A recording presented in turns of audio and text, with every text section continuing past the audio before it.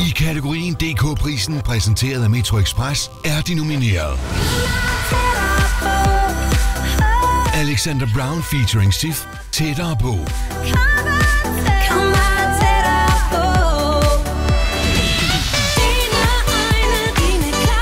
Michael Rune featuring Cecilie Flør. Væk i natten.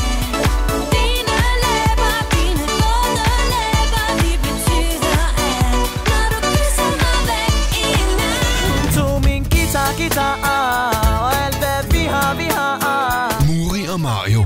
Hun tog min guitar. Alt tilbage, kom tilbage til mig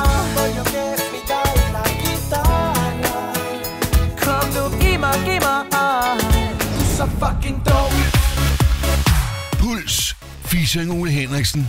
Dope.